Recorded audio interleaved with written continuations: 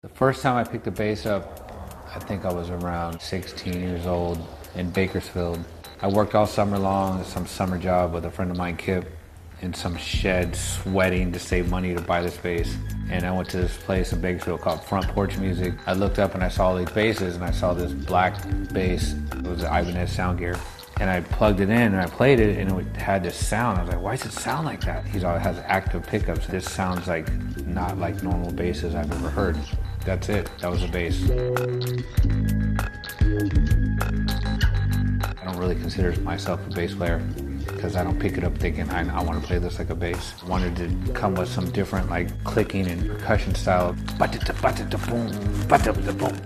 Almost everything about bass I don't like. So maybe that's why I picked it up to try to create a different sound and a different way of playing this instrument. Doing the bass album is really pulling the notes out. The real character of the bass player that I am comes out on this bass album. Whoa, whoa, whoa, whoa. So I collaborated with my singer from Stillwell, Q. We've been working together making music for over 12 years now together. We started out working on Stillwell and it was kind of on the side. Stick is sitting here playing guitar for six hours let me throw, let me pick up the bass for a minute and doodle a couple of things. He adds something to it. I'm like, that's kind of cool. It started coming to life. He was pulling out of me all the bass, so then I started pulling out of him all the weird stuff like mouth effects, little accents in there, and trippy sounds. Rapper, hip hop, hip hop, rapper.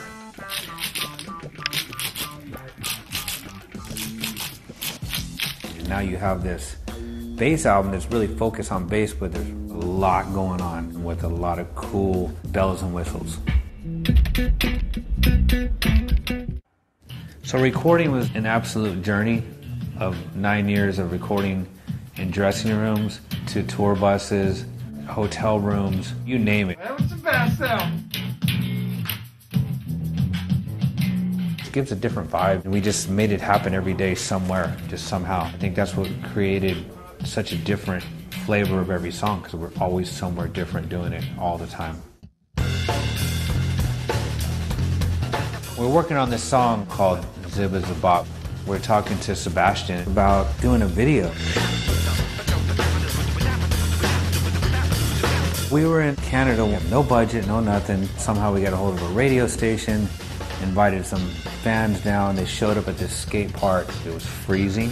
That's why we're dressed the way we were, which it, was a nice change of look. Ray was playing drums, which he played drums on this track, and ended up being a really cool guerrilla style raw video.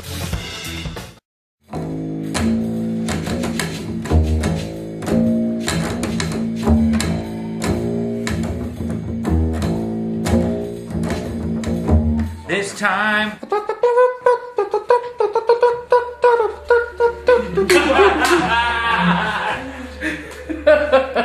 I wanted to try as many basses as possible. From my K5 to I have some fretless basses. I had a K15 made, which the headstock's like this big.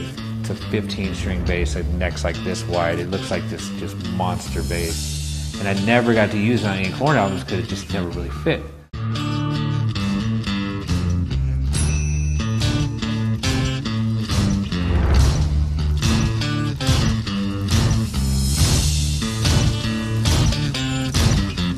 15 string Exodus. It almost sounds like there's going to be this big army coming, like the end of the world, and the army's coming to like kill everybody. It's not like a dark negative song. It's like one of the biggest epic songs on the whole bass album.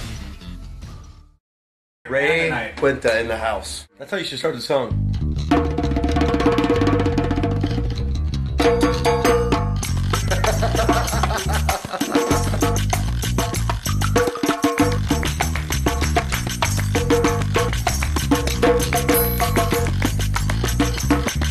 As parts were developing, we're like, let's do a Latin style one. Ray playing like bongos on it. It sounds like this crazy Spanish Latin song. Algo cogió un parte de mí.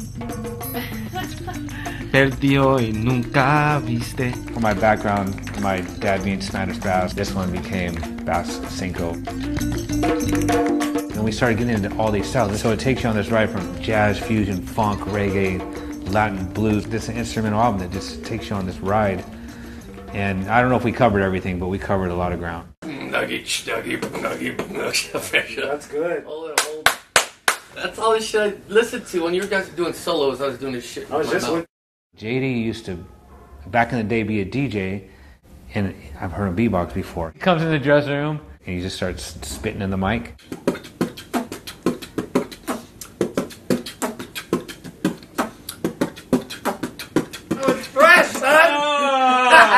When you gonna step up, homie? We were out on the Rob Zombie tour. Piggy D had a P-Funk bass. It was all sparkly, and I put bass lines to it.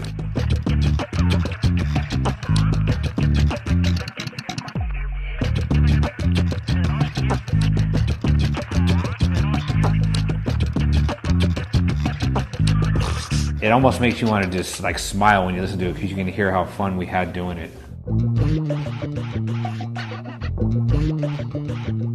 Once I knew we were going to call the album Bassically, I wanted to carve it into my signature bass.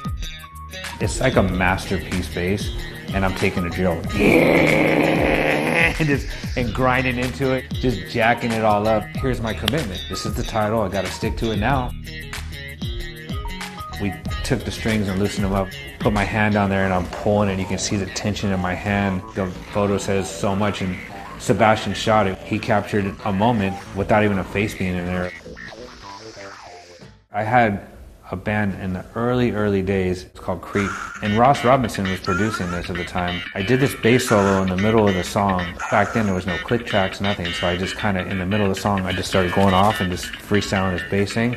And it came where I landed right on the end. Dun, dun, and the whole was like, yeah! Like, I'm telling you, it was pure luck. It was one of those moments you can never recreate. It starts the song out, and then we go into today. But it's like an intro of something I grabbed from an old, old demo.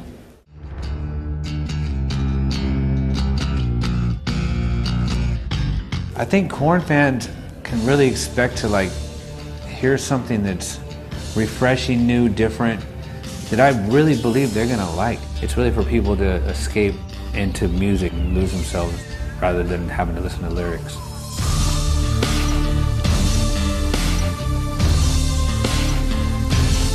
What I learned over the nine years of Q and I working together is from me playing with guitar and bass and writing books and doing this and doing that, that the most fun you're gonna have is who you're built to be. I'm a bass player and there's no other way around it. It gave me closure to what I really do.